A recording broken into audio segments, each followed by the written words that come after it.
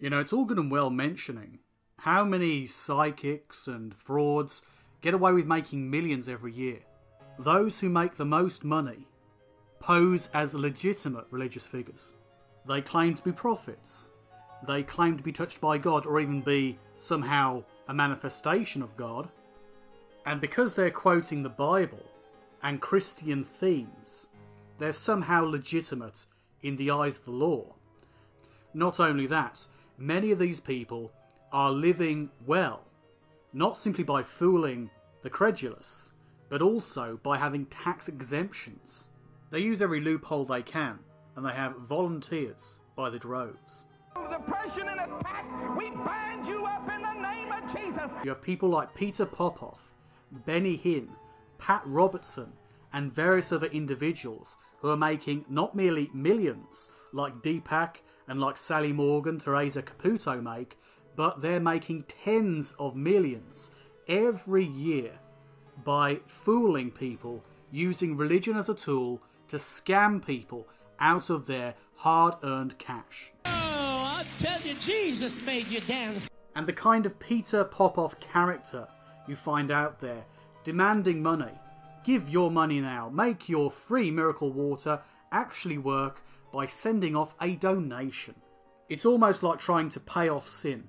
Do you think you've got sin? Do you think you might be sinful? Are you afraid of going to hell? Pay a shitload of money to this guy. Are you poor and desperate with some savings? Want to get over your desperation? Get a better job? Get a better house? Change your mortgage? Well, guess what? You can. And how? By giving me all of your money. How the people seemed like they were under a spell. And for people who believe in miracles, it is no great leap to imagine that they can somehow cure all their problems by giving their last thousand dollars they managed to save over perhaps a couple of years towards some known charlatan. And if you try and talk to them, and perhaps even talk them out of their mistake, they'll probably think that you're deceived. They'll probably think that you're the one who's deluded. And they'll think that their experiences are true because they've seen people healed. They've seen people touched by the Holy Spirit. They've seen people affected by the wisdom of the Bible. People perhaps having revelation. People having experiences of the Spirit.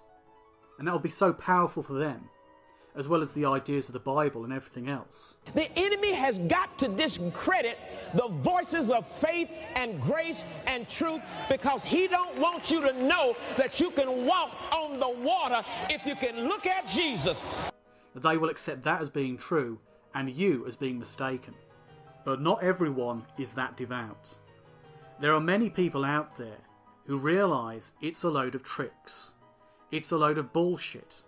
It is not factually correct to say that these people work on behalf of some kind of higher power.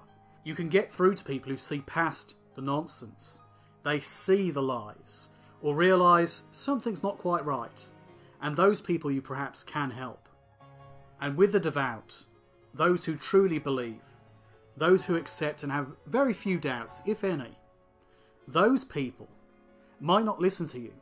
They might not want to accept what you say, but give it a month, a year, maybe longer, and they might realise that they have been ripped off, that they have been deceived by a person simply trying to fleece them for all of their money.